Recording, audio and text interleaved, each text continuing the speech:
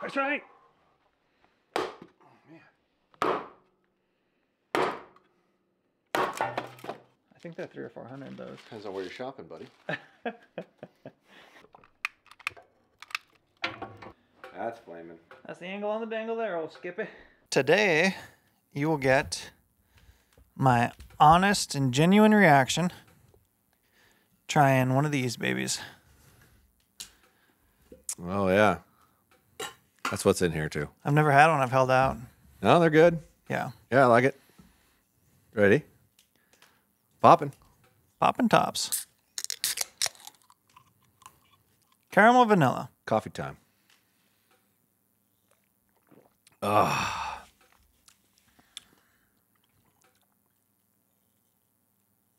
Don't go too fast now. There's 300 milligrams in there. The only hack I have for making content is to be caffeinated. That's This the only is- hack I have. Yeah, I, I agree. That's all I got. I agree. I almost always save some kind of caffeinated drink before right before I turn that camera on. Like, give me a little stimulant, get my heart rate up a little bit, get my adrenaline going just a tiny bit. I've seen you shotgun one of these. Oh yeah, yeah. Um, in my uh, in my younger, more irresponsible days, I was the fastest uh, beer drinker in the West. like I could drink really fast. Put that in a glass. It was just like gone. I had a vision. What do you call those things? Um, I had a vision, the best way to put it. Mm-hmm. Okay. So maybe we're sitting here one evening, it's kind of late or whatever. Yep. Maybe we've had a couple of too many beers or whatever. That has happened a good? time or two. not not you and I though. No, not you not yet. No, and I don't really I'll get you tied on. I don't really do that to uh it's very rare. But yeah, no, maybe we had a couple or whatever, feeling all loose. Hold on a second. So you don't you don't really do that. So do we need to have a drunken podcast once? My buddy, my buddy Stacy yeah. said I was he was really disappointed that we haven't been at least slightly inebriated yet on our podcast. Yeah, we should have one. Okay. One to be fair. Well, uh, I talked to Brandon a little bit ago, and he's coming over here to get something. B Mac, yeah, our dude. yeah, he's picking up. Uh, oh, I don't remember if it was from one of his hunts or something. Yeah, he's picking up his stag antlers. yeah, he's picking up his stag antlers and doing a road trip. So I imagine that would probably be the appropriate uh, whiskey cigar edition, right? Isn't that his thing? Yeah. A Yeah. regular cigar or a Washington cigar? Oh no, uh, that that is, that is not my bag. I would freak out. Yeah. But no, Um, in honor of Brandon being on our podcast, we probably ought to do it a little bit like Brandon, don't you think? yeah, I mean, he's got an open invitation. He knows that. I told him he's got a Brandon, he's got a public whooping waiting for him whenever he comes out here. Uh up Yeah. for the YouTubes, yeah. Yeah, I had a, a video idea for something uh, to be named later if feasible, but um, it'd be cool to go out on the 3D course and do a little three way comp. Yeah, It'd totally. be fun. Totally. Um back to my vision. So Vision. here we are. Vision Quest. What you got? We hear the door crack open. Crank, you know, it's an older door. And who walks through the door?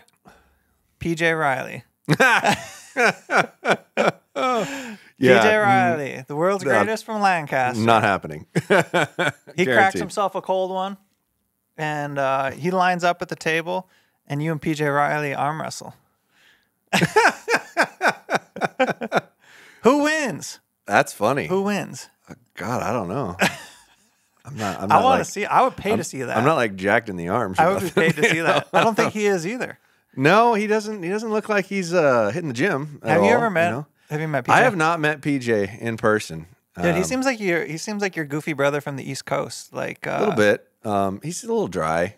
Um, I mean, he's he he does a good job. I and what they're doing, like obviously they've got hundred thousand subscribers and they're constantly putting out content. I think that's his like between that and like hosting the archery events or whatnot that Lancaster puts on. I think that's like his full job. Yeah, no, it is. I think he's Yeah, yeah. I don't- I don't think- full time Lancaster, or whatever. No, no, no. I mean like that part, like what you see is his full Yeah. job. Like he doesn't have other responsibilities underneath the Lancaster blanket. So Yeah. I mean that's must be nice. Must Um, be nice.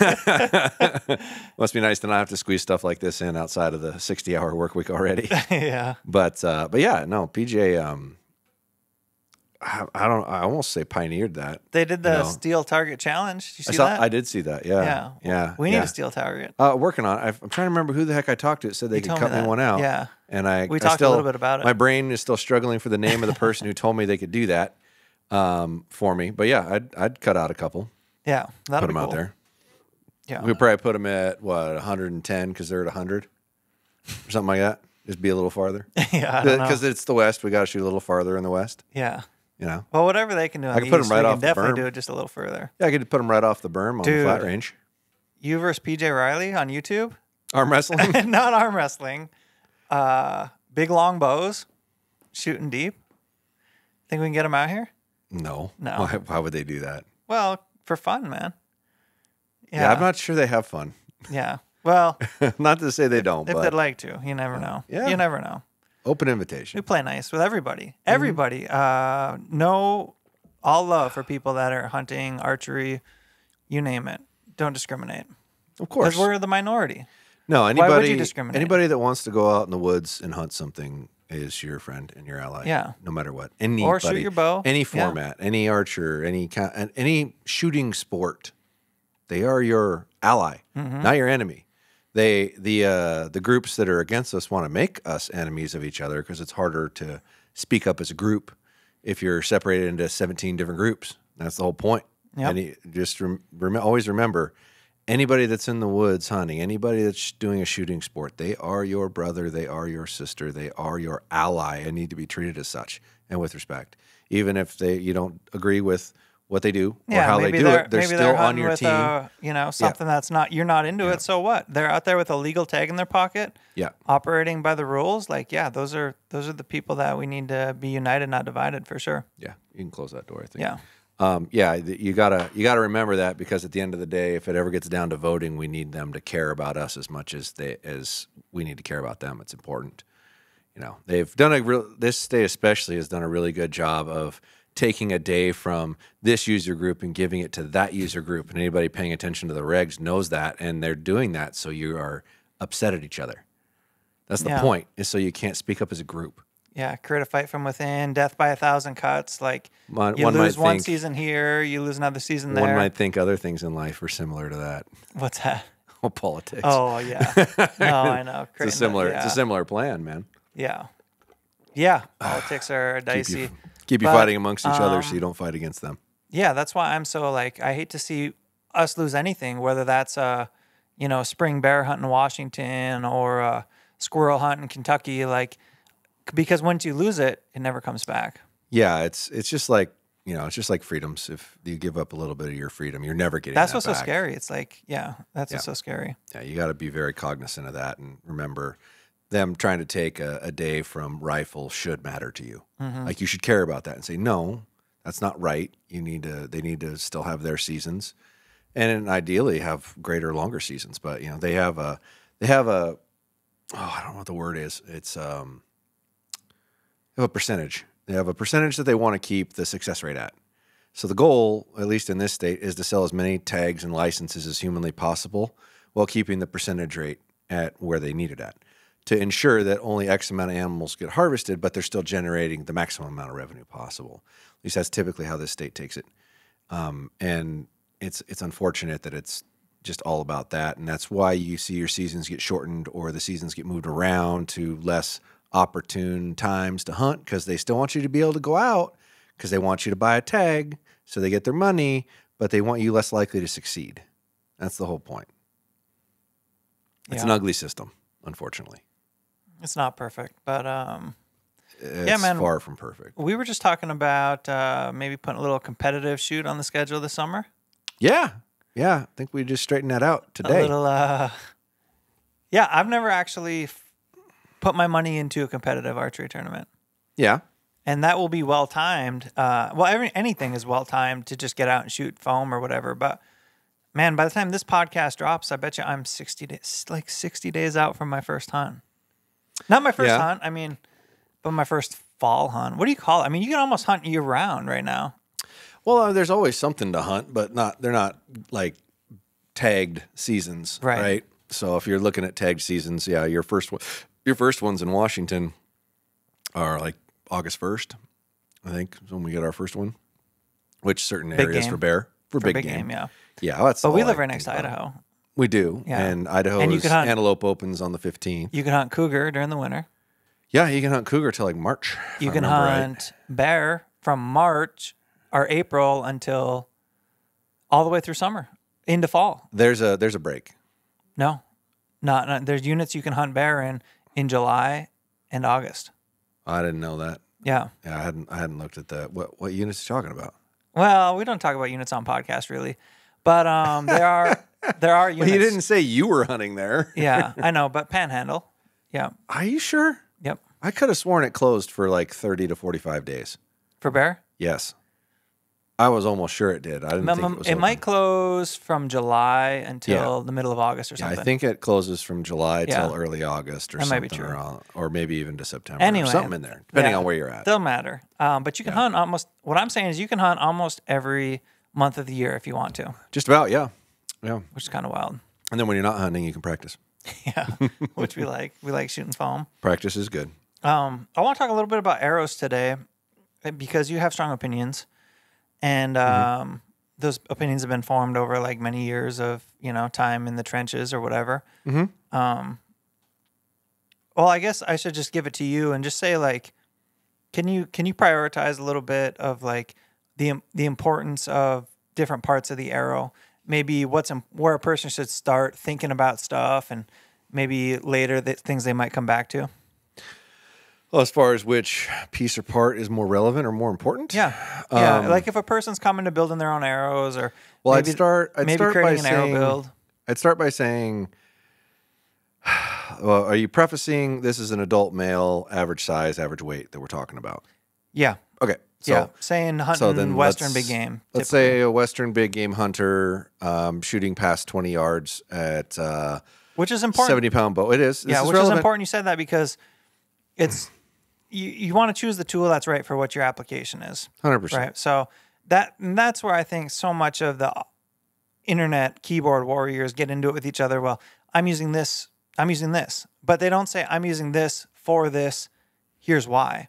Yeah. because you know for someone who's hunting pigs in Florida, maybe they want something different. Somebody who's hunting uh, mule deer in um, open country. Oh, sure. Yeah, I mean, Yeah, and the guy hunting Rocky Mountain elk and the guy hunting whitetail deer aren't hunting the same animal by no, any means. not at all. So there's there's definitely some some relative difference there, and which is why I preface those questions Yeah. like who are we, who is this for, what's our application, right? Um, so at that point, I would I would start by saying I'm probably going to want average person somewhere between a 425 and a 475 grain setup. So basically, taking kind of taking the weight and reverse engineering. Yeah, that any, any arrow that any arrow combination that I build, any arrow combination that I build is probably going to have around 15% forward to center.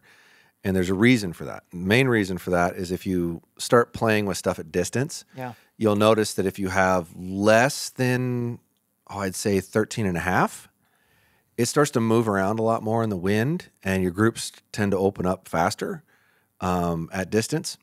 And if you get more than like 16 and a half, 17%, it really starts to drop like a stone at distance.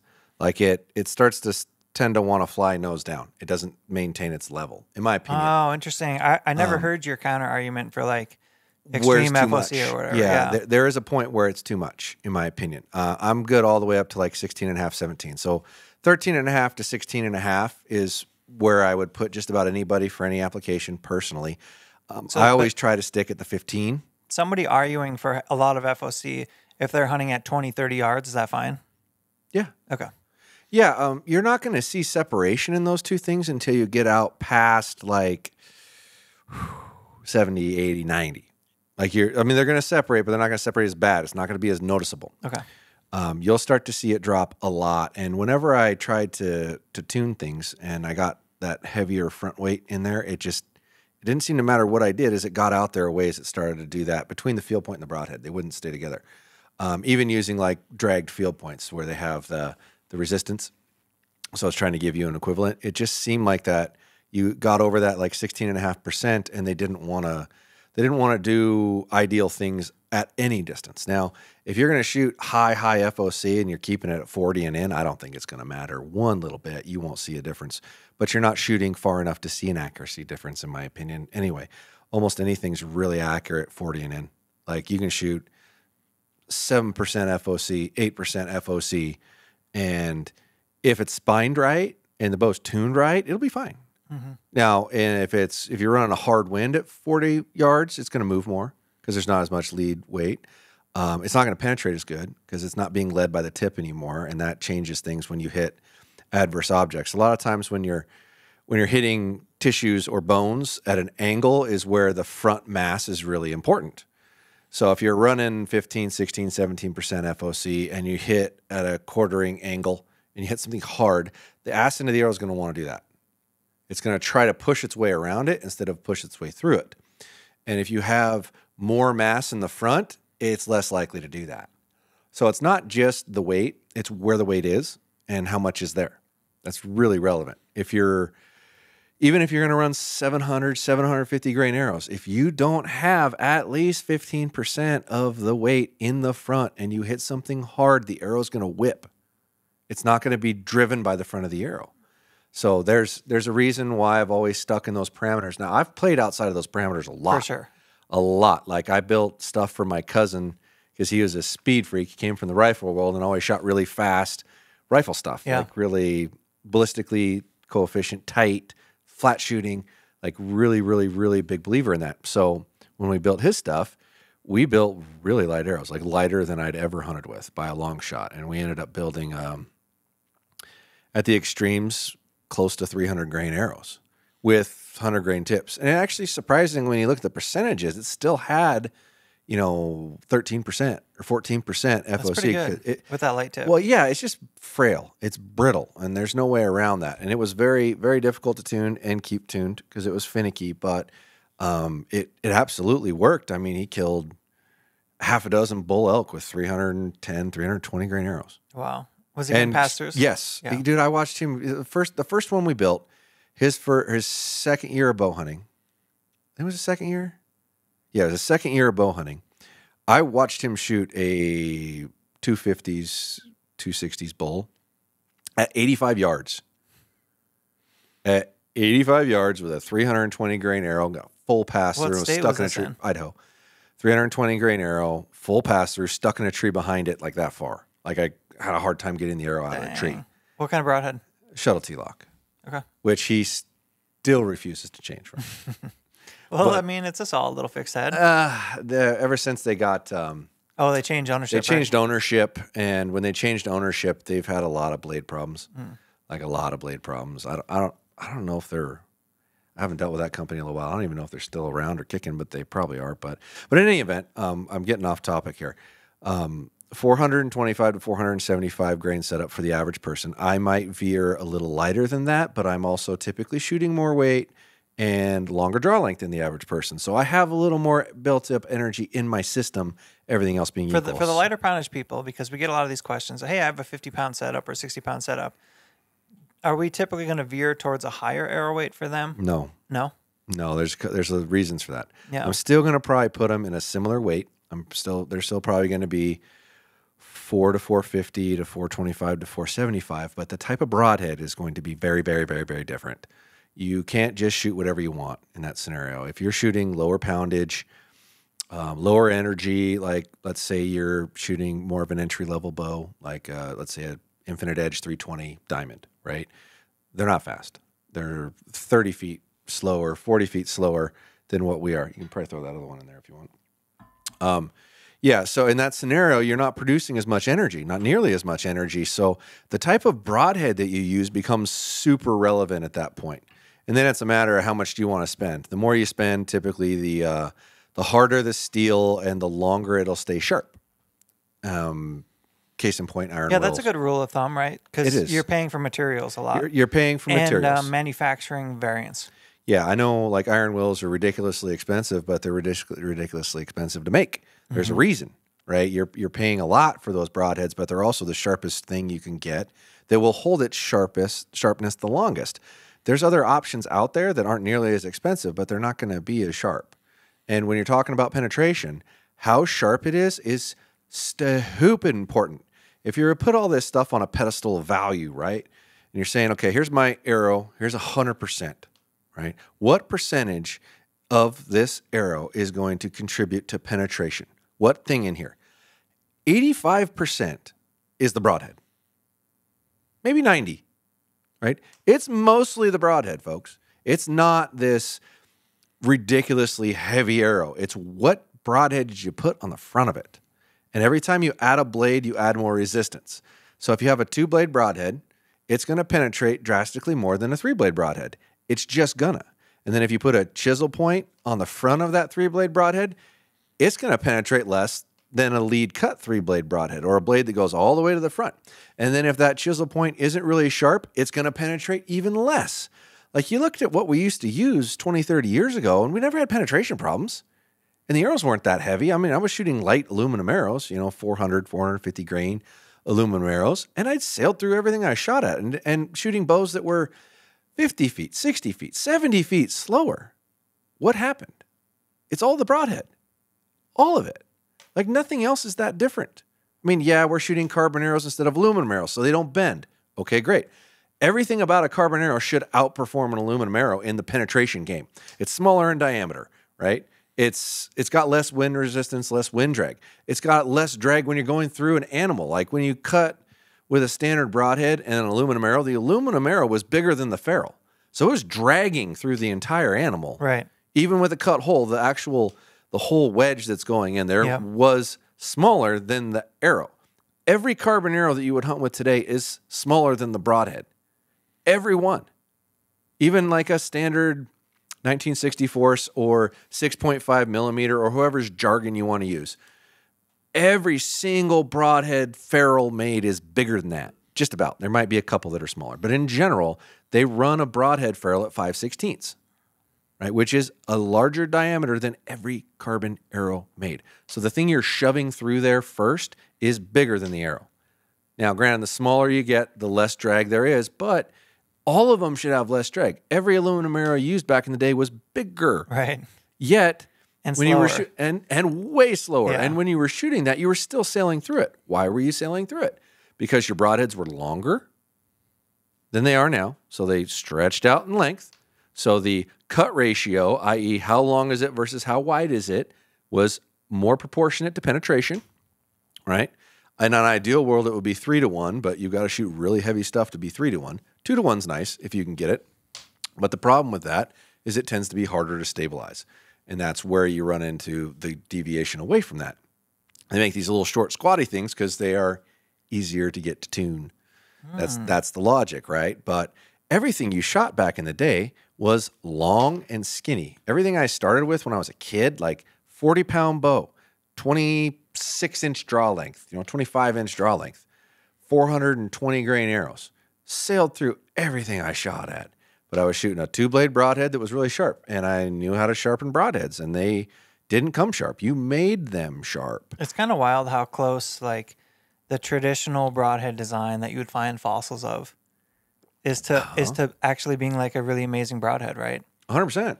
Yeah, like they they had that part pretty well damn figured And we're trying to shoot through armor.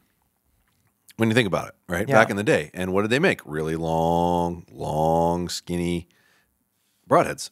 I'd love to see a gravitation back towards that to some degree, but maybe experimenting with things that don't weigh so much so you can make right. it longer. Lighter materials. Lighter materials that are still durable, that you can make the whole thing a little longer. Because in, a- in a perfect world, and I think you're going to see this a lot more, you're going to start seeing glue and broadheads again.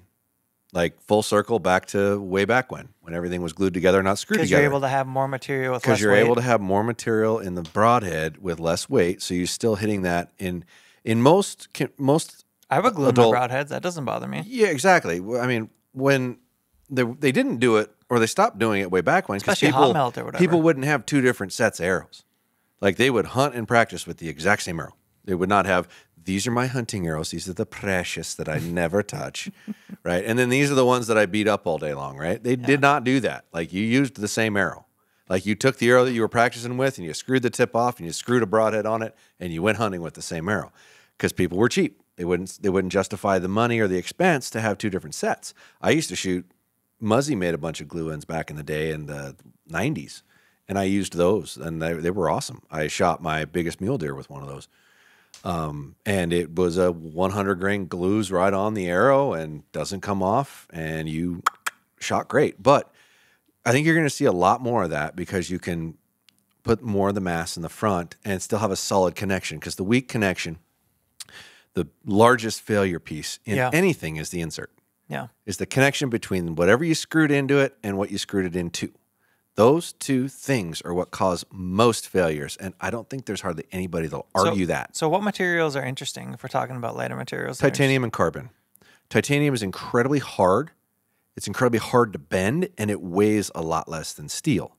Which, if you look at my uh, titanium insert, it's 50 grains, and my steel insert that's 100 grains is like just a little longer. Similar. Yeah, they're real similar. And Yeah. steel's like twice as heavy as titanium. And what's the universal metal that they're using in really durable broadheads today is steel. Well, if you made it out of titanium instead of steel, that ferrule wouldn't weigh nearly as much. So I, I think you could A lot of the weight is in the ferrule. a good portion of it. Yeah. Yeah. Yeah. I haven't actually weighed it out, but I would say on a replaceable blade broadhead, you're probably talking at least three fifths to three quarters of the weight's probably in the ferrule, the ferrule and the tip, and then the blades go into that. What's uh, what's the difference in retail cost between the titanium insert and the steel insert? Uh, four dollars and seven fifty for me. So almost half. Yeah. Well, and my my amortized costs, those are the same percentages. In fact, Yeah. I think I percentage I make less on the titanium as a percentage. I make more dollar, but I make a little less money on the titanium because I'm trying to keep it at a, given price point. My my cost went up almost a dollar, and I only raised myself fifty cents because I still want it. I, it needs to be in that price. So let's say a person builds a broadhead that's made out of titanium. Mm-hmm. Um, it's going to be roughly double the cost ish. I would think there, there's to paying? titanium ones out there. The Sevrs are titanium. Yeah. And then if you look at a Sevr compared to um, you know an Ulmer Edge, the steel version of it was a ton smaller.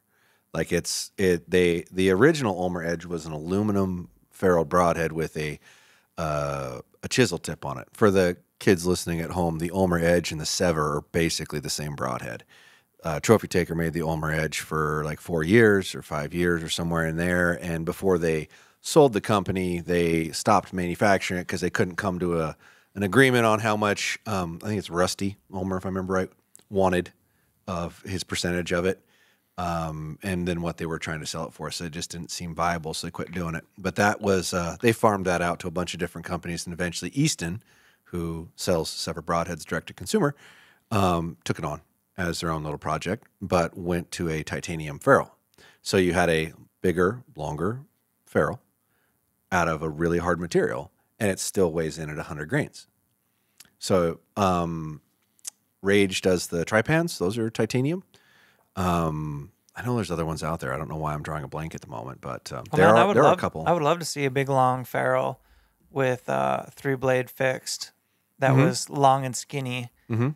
kind of like um, Valkyrie uh, Blood Eagles. Or Mm-hmm. the Valkyrie design is very, very interesting to me. They seem like they'd be hard to sharpen, but something that's kind of Yeah. that long and skinny triangle. Um, Yeah, well, that's that's always the uh, the the appealing thing about a replaceable blade broadhead is you can get a sharp blade. Yes. Because if you can take that blade off of the ferrule, it's a lot easier to sharpen. And Bill will tell you that when he's talking about why you're, you'll never, he doesn't really want to make a three blade broadhead because he doesn't think he can make it nearly as sharp as his two or be as durable. But if you can't take the blade section off of the broadhead, you'll never get it as sharp because you can't get the right blade angle on it. Because Okay. the broadhead's and the ferrule's in the way when you're trying to sharpen it. I You get you're can't get it. So Yeah. that's part of why his system is so good and why something where you can take the blade out is so good. But you're also running into an issue of now you've got multiple pieces and there's screws or things bolting them together. Whereas like a VPA or Valkyrie, which VPA makes Valkyrie's broadheads, they just have the straight blade version of them instead of the curved Blood Eagle or or whatever they Yeah. call it. Um, they're they're made in the same place, but they're Same one manufacturing Piece. Yeah. VPA makes that broadhead okay. for Valkyrie. They make broadheads for several different companies out there. That's the one I know of for positive, but they I know they make a couple. Um, but they uh, they do all the machining out of one piece steel. Um, So VPA is good at machining stuff. VPA knows how to one piece machine a broadhead. They Yeah. pioneered that, from what I understand. Uh, they were the first guys making a legit machine, not mm, injection mem molded, which would be your Montec design. Um, the shuttle T locks were molded for a long time. The blades are actually machined now, but they were molded broadhead. Uh, I want to say the the machining. The problem with molded is it softens the metal. Like you'll never get the metal to be nearly as hard, which means if it's not as hard, it's not as durable, it's more likely to bend. It's possible to have it bubble in the process that they that MIM does, and you could have little air pockets in there somewhere, little weak points. Um, so I, I don't. nobody makes a knife that's molded metal. Why? Because it doesn't get sharp. So if you're shooting a an injection molded broadhead, I would think twice about that choice. Uh, I won't I won't name any others because I think everybody Won't knows. name names. I thought I think everybody knows Montecs are molded. I think it's pretty obvious, Yeah. pretty blatant. Um, and I, I don't need to point any others out in the market, but that that's the main one that you, you could never get them sharp. I mean, All you can get them kind of sharp, but not really. And sharpness matters for a couple of reasons. One, if it's not cutting hair off your arm when you're testing it, it might not cut a vein or it might not cut an artery when it rolls by it when you're shooting into an animal. And it's definitely going to take a lot more force to penetrate through the hide and then through the hide on the other side. People get all fixated on, oh, shooting through the scap or shooting through a ribs. Like, get through the freaking hide. The hide is like leather armor. It is not the easiest thing to cut through, and so many people miss over the point of what touches it first is what's going to absorb the most resistance, which is why I love the Grim Reaper because it is the sharpest chisel tip. I like a chisel tip because I feel a little safer hitting something hard that it's not going to break or it's not going to fold the tip over when you hit something. Right. But their tips on all their broadheads are super sharp. Like you can cut with the tip and you lose so much penetration, so much shooting a blunted, dull tip through hide. Getting through the hide is actually the hardest part, in my opinion. You hit a bone with enough force, it's going to break. And your broadhead's not made out of soft metals. If your broadhead's made out of soft metals, don't hit bones. They'll fold. And honestly, even steel will. I shot a, I hit a scap of a, a mule deer with a, a mechanical broadhead last year on a follow up shot that folded the tip over. And it was all steel, but it was a long, skinny ferrule, about yay long before you ever got to a blade. So there's no structural strength holding that up. And it just folded over. It still went in a long ways, but it did fold it over and it was steel. So yeah, I just, you got to have a sharp tip. Getting through the hide's the hardest part. It really is. You're not supposed to shoot them in the shoulder, folks. Let's avoid that. But they got hide on their entire body. Yeah. Everywhere you're going to try to shoot that animal, it's got hide, which is hair and skin, and they are hard to cut through. It's amazing the amount of force it takes to cut through hide, especially elk. Elk have thicker, coarser hair and thicker skin. And the older they are, the thicker their skin is. it seems Jack. like. Facts. Yeah. Yeah. Well, well, I think we we started talking about broadheads, but we started talking about lighter lighter pounder setups, and basically the moral of that story was shoot a super sharp broadhead, right? Shoot a shoop, super sharp, Super sharp? super sharp, elongated two blade.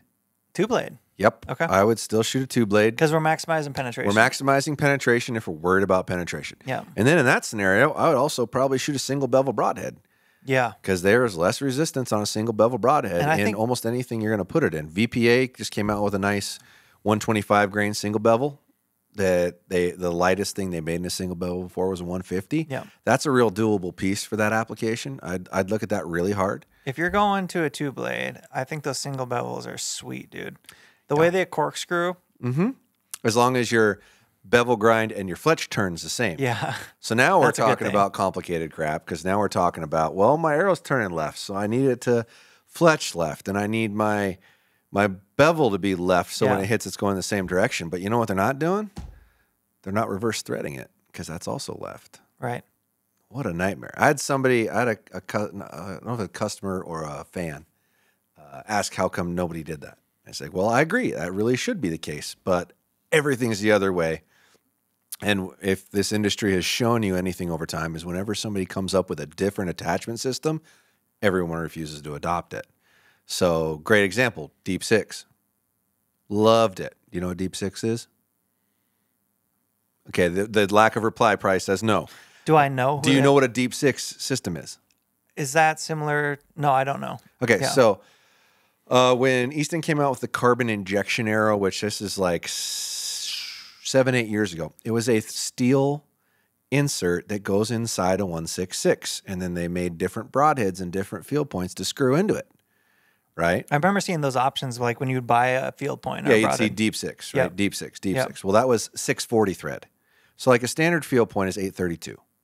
Okay, that's what's on the back of your regular field point. It's what's on the back of your broadhead. It's 832. All inserts are 832. Everything has a universal shoulder height and depth that they're supposed to be manufactured at. So everything screws into everything, i.e., my field point screws into Iron Will's insert, screws into so and glues into so and so's arrow. It's a it's a uniformity thing. Well, Easton came out with something called a 640, and then they partnered with New Archery Products, which was probably their first mistake for their broadheads when they first released them. So when they came out with this really cool new patented insert system that went into a 166 arrow, right? Internal completely, no shoulder, no big old adapter hanging out the end, right? They didn't partner with more than one broadhead company, and every broadhead they released was an aluminum ferrule. And then you took 25% of the structural strength of the thread system out when you went to a 640 from an 832. It's 25% smaller. You're not you're not going to hold up. Right? And it there it took a couple years for broadhead companies to start making them, which at the time there was an awful lot of MIM broadheads or molded injection molded metal. Well, that's a mold, not a machine. Yep. So when you do that, it costs a lot of money to make a different thread. If it's CNC machined, yeah, you just push some different buttons on the machine and screw out something different. That's not a big deal. But the most popular broadheads on the market, several of them are molded. So they weren't going to change. It's like, well, I can't afford to spend X just to make a threaded broadhead that goes into your system.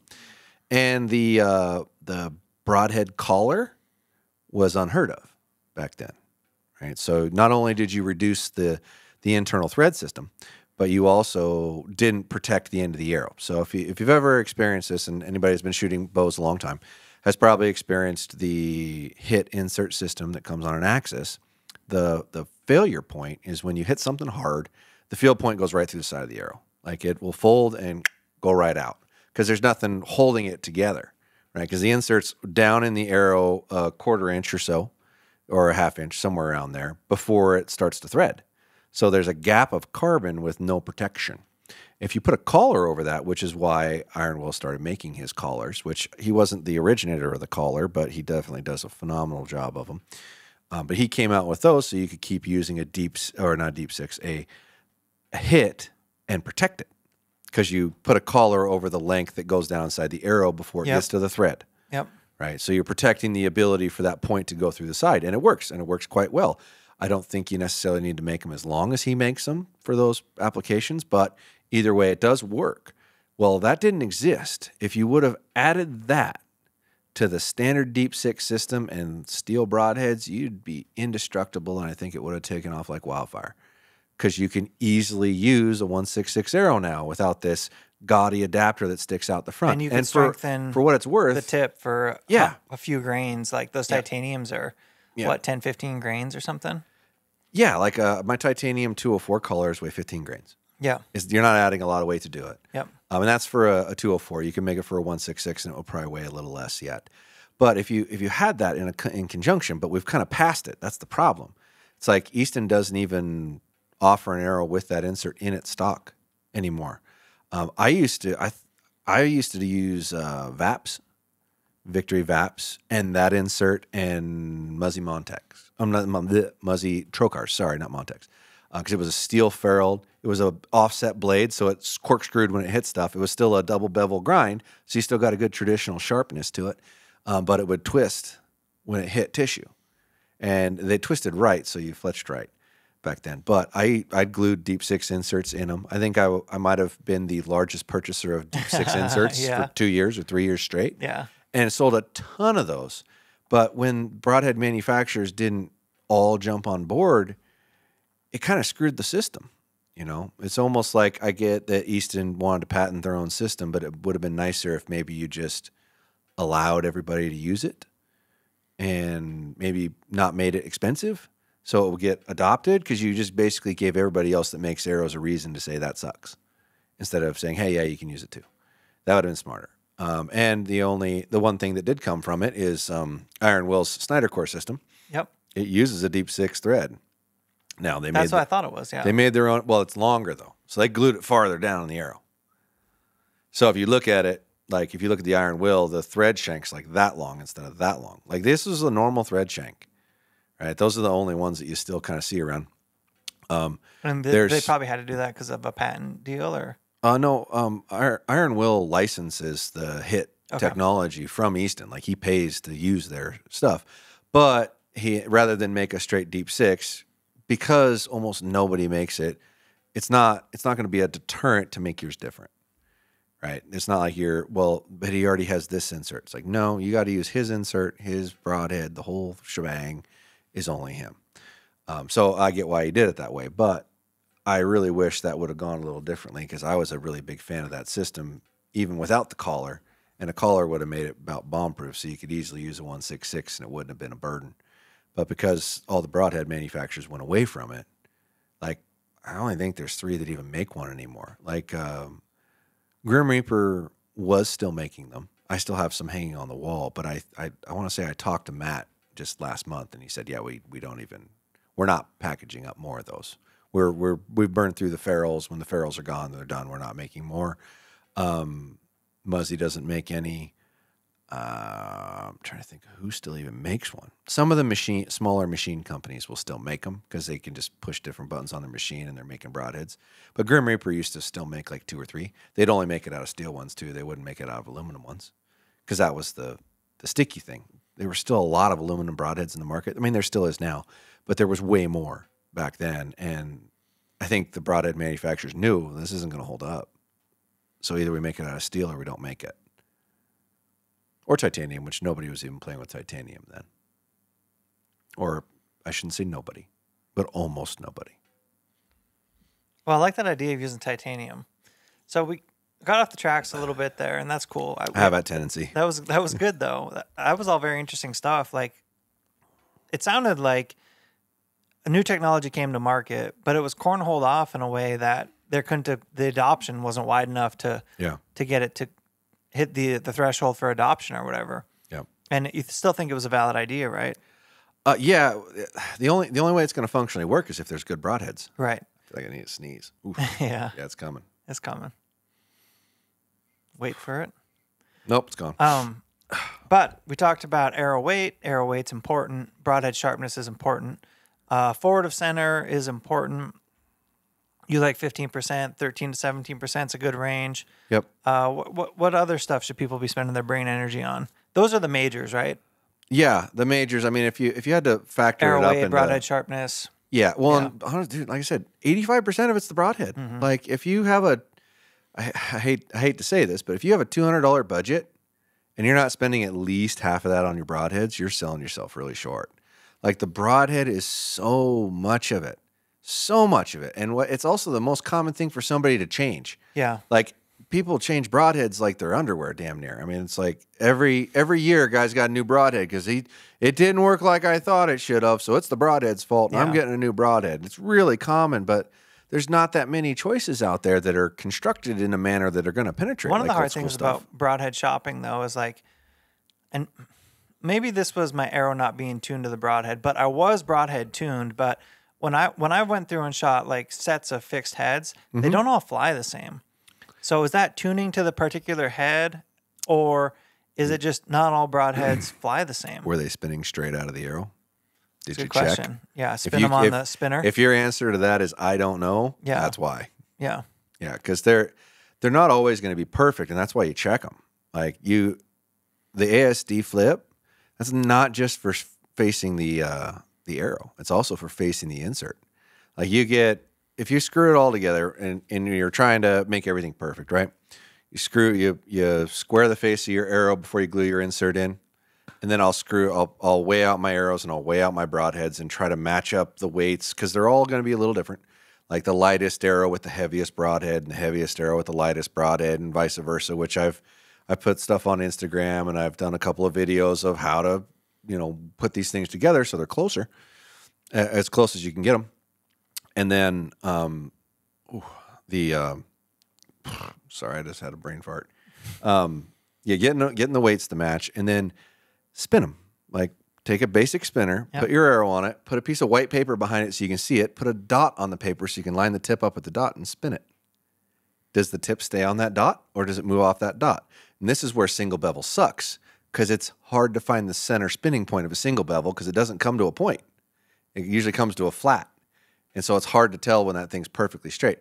But if that broadhead is not spinning like a top, like perfectly straight, when you shoot it, it's going to deviate a little bit mm-hmm. because the the force of the wind coming at it, because of how fast it's trying to cut through the wind, if it's not perfectly straight, it's going to deviate. I guarantee you that's why they didn't seem to shoot in the same spot. And it doesn't take much. And nine times out of 10, when you screw one together and it doesn't go on perfectly straight, you unscrew it, you face the insert with the ASD, run it over it, run it over it, run it over it, screw the broadhead back in. Nine times out of 10, now it spins. And then once out of 10, that broadhead's crooked. So And that's a hard thing to fix. most fixed broadheads you're saying then will will shoot fairly well out of a tuned tuned setup that spin well. Oh, yeah. Like if, The setup's tuned, the arrow Yeah. spins well, the broadheads will shoot well. if that thing doesn't spin straight, it ain't going to Yeah. fly right. If it does spin straight, I'd be shocked if they don't group. Because man, I don't want to trash talk broadheads right now, but I I, I at, at a point tested four or five sets of fixed, Mm-hmm. and a couple of them shot well. The traditional ones that we know shoot well, like the Grim Reaper Micro Hades, and then some of the You some rarely other find crooked ones designs. of those. What's that? You rarely find crooked ones of those. Yeah. So it's another reason why I recommend them a lot and talk about them a lot. So I rarely ever I mean, find I'm talking. I'm not talking point of impact as much as talking group size. Like Oh yeah. my group size expanded pretty considerably with some other broadhead sets. So There are not going to name names. we can. All right. No, I'm not going to. Okay. But there are some broadheads on the market that I would throw every other one away when I'd check them. They're so crooked. There's no way it's going to fly straight. Yeah. Nothing you can do. Like I and they're big names that have been around a long time. Um, some of their construction, like especially when they start going to China or start importing their product instead of making their Well, it's product one here. of those things where you get what you pay for too. Like yeah. you're not gonna Yeah. get the cheapest, sharpest, best flying broadhead. Those things aren't gonna go together. No, that's why I said it should be more than half of your expense should be in your broadhead because when you buy cheap broadheads, they suck. Well, They don't fly straight. They don't spin straight. You throw half of them away because they won't group where the other ones do. And you can go through the the painstaking process of just screwing all that stuff together and going shooting it and figure out which ones shoot and which ones don't. Or you can spin them and throw away the ones that don't spin. Mm-hmm. Now, when you're spending fifty dollars a three, sixty dollars a three, those things better spin. And if they don't spin, you might want to think twice about whose broadhead you're buying at that point. If you screw those on and you're and you know your arrow's square and straight, like you put a field point in it and spin it, because you can do the same thing with your field points. Put a field point in the end of that thing and spin it. Does it spin straight or does it wobble? Right. If you're if you know your inserts in there square, then that means you screw your broadhead in and all of a sudden it doesn't spin square. It's your broadhead. It's so important. Those little tiny, little tiny deviations make drastic differences. It's the difference between being able to shoot 40 yards and being able to shoot 100 yards. I mean, if those things aren't coming out like a top, they're going to shoot like crap. it makes sense to me why for so long people people have steered away from fixed broadheads because there's there's so much to know about tuning and then like arrow nuance to really get them to fly. Sure. when the the easy button is just hey let me strap on this uh you know big mechanical that Yeah, flies but is that a be- easy button? Because if, if it's then not, you don't know your setup as well right Exactly. Like Yeah. that's that's the big hiccup. Like is is your broadhead is your fixed blade broadhead not shooting because it's not straight out of your arrow, or is your fixed blade broadhead not shooting because your bow's tuned in correctly? Exactly. If your bow's tuned in correctly, you are not transferring energy down range accurately and efficiently, folks. You are not hitting with the poundage and the force and Yep. the kinetic that you're supposed to be hitting with, and you are being irresponsible. You that need that arrow needs to leave your bow straight. And if your method of doing that is cutting down your arrow till it shoots around your bow, fine. But you better be doing that. yeah Like, but I'd rather see you tune your bow correctly and Which understand why- and learn how to tune your bow correctly. and which is why you've always said hey you can go ahead and shoot bare shafts or you can just strap a big old broadhead on the front That's the reality of the difference. I I get bare shaft tuning, Yeah. and why I've done it. I've done it a lot. Okay, but I've only ever done it on my target bows because I'm never shooting a broadhead out of my target bows. But I will always tune my bow with fixed blade broadhead, always. And I guarantee you, like, build your bow, try your shaft tune, shoot your shaft once, and if your shaft like takes off like a foot, different from where your field point impacts at 20 yards, do me a favor Grab your fixed blade broadhead on that fletched arrow and screw it on there and tell me where your broadhead This went. is your homework. it went right where your frickin' shaft went. Yeah. So if if at the end of the day, the goal Yeah. is to get your broadhead and your field point to hit in the same spot, shaft tuning is not relevant. Broadhead tuning is relevant. You can skip that step Unless they because understand they are the same freaking step. Yeah. It's the same step. That's you just might as well use the tool that you're gonna hunt with in the step instead of this fictitious thing that you're never gonna shoot at an animal. But if you're if you have a lot of time and you want that redundancy, it's a redundancy, right?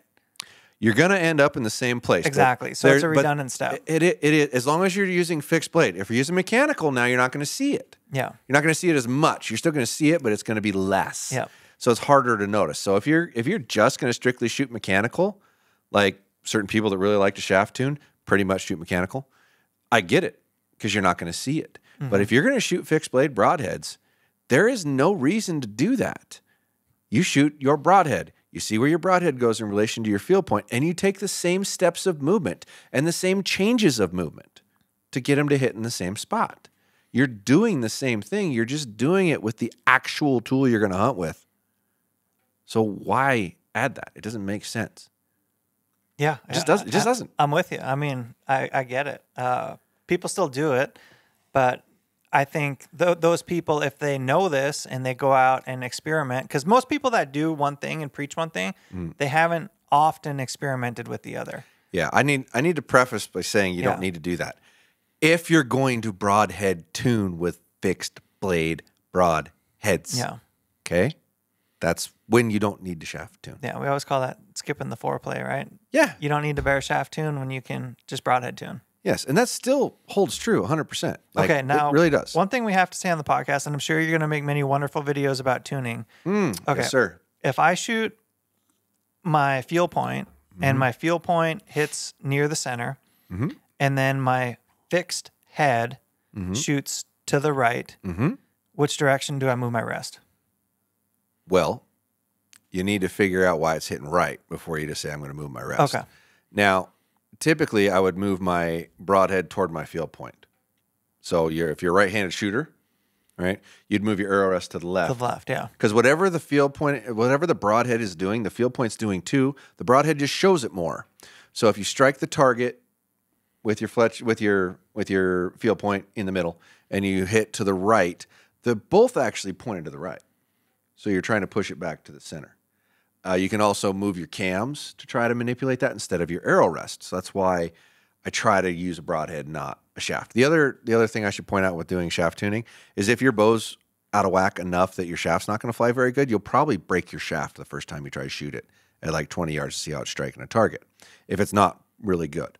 So that's the other reason where if you at least have fletches on the back of a broad-headed arrow, it won't snap the arrow in half Sure. won't break an arrow. But yeah, that's that's your movement for that. Although a right impact with a fixed blade broadhead or a shaft can also indicate a weak spined arrow.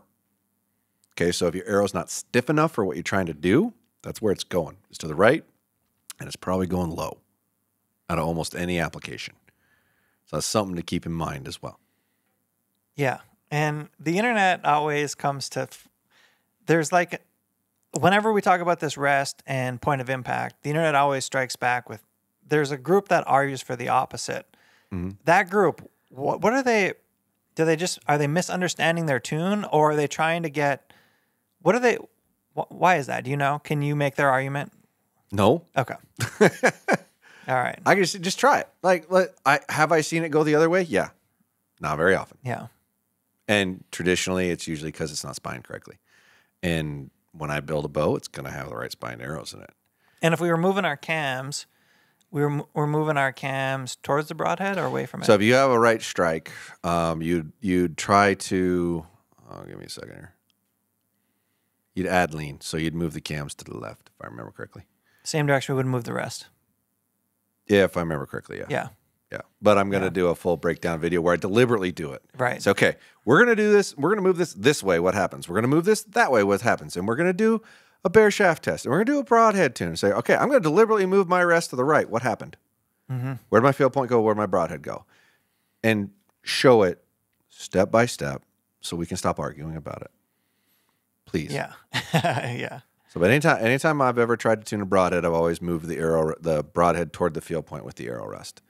But I have found in a lot of instances that that it they frequently will move the same amount, or it will decrease but not get perfect. Then you're running into a wheeling issue, or you're running into a spine issue. And there's ways to check those things. Like if you think it's spine and you think it's too weak, back your poundage down. Did it get better? Did it improve? That doesn't cost anything to do that. And you can just turn your poundage right back up after you try it. Yeah, no risk, right? There's no risk. There's no. It doesn't. It's not like you got to buy a different arrow. It's not like you got to cut down an existing arrow to Yep. try to make it stiffer. You know, it's not. You, know, you got to put a different point in the arrow, which you can also do that. You can stiffen your arrows by taking tip weight out and adding a little less tip weight, and then it'll make the arrow stiffer, and then you'll get a different reaction. But there's. I'm I'm working on a whole big long series of step by step for all these things. So there's a, a catalog on YouTube to go back and check all this stuff over time that'll just sit there forever. So anybody that wants to know how to do it and wants to play with it can play with it. I like it. I'm subscribed for that. Sign me up. Hopefully, hopefully do like one a week. And there's just there's just so much. You know, it's hard to prioritize what's more important. Yeah. You know, Yep. yeah. I get it. Well, what a great deal. Fire's out. Was that an hour? That's an hour. God, I thought we'd been talking for 15 minutes. yeah. Well, That's so we were- weird. We were, we were talking about your jam today. We were talking Oh about yeah, arrow tuning, arrow setup. right in my passionate wheelhouse. You don't need 800 grain arrows, although they're fun to have or whatever. Hey, you know, I, I've I've said it a hundred times. You're gonna shoot stuff at 20 yards. That's a cool setup. Because honestly, your bow's quieter. Yeah. You could probably shoot just about any angle, and you're probably going to go through. You're gonna bust Unless you shoot one of those short, squatty broadheads, then you're probably not going through. Because when they're building for those things, they're also shooting a traditional style broadhead. I mean, I think you can shoot that traditional style broadhead with 420 grains, and you're probably going to go right through the same thing, as long as it's the same spine. Has to be a fair comparison. That's right. Yeah. And a lot of times when you see these tests, they're not fair comparisons. So I'm going to do my best to show you actual fair comparisons and what really happens. I like it. The mad scientist is at work. We got some cool mad scientist stuff coming. Oh, yeah. I wonder if We we'll ever this- run out We of got this super fast Yeah. bow build we got to do. Yeah. Yeah. I wonder if I'll ever run out of things to do. Like I don't that. think so. When you combine your ideas with what the internet will propose and give us ideas for, I think there's Yeah. lots of possibilities. Yeah. There's always somebody telling telling you how dumb you are to make a video about And it. be subscribed, guys. Like, uh, Yeah. we got to get this channel to 5K. That was our initial ask. Yeah. Come on, step it up, guys. 5K we- is fair. We're, we're still doing this for you because you, It's we a free know you Hey, want look it. around. This is a free podcast. Like, this is Josh and Tim. Josh has edited some of these, right? Yeah, which I hate. We're not like I have to edit this one too. we're not Ugh. like MeatEater. Like, look around. Do you do you see a production group? no. No, It's two dudes with a camera and some sound equipment two dudes and a camera, and like a little bit of caffeine. a little bit of caffeine and like two grand worth of audio equipment. yeah. Anyway, guys, um, appreciate the the listen. We'll uh, we'll catch you back for the next one. See you later. We're not MeatEater. Look at this little team we got. Yeah. Little tiny team trying to put out content. Oh. Yup.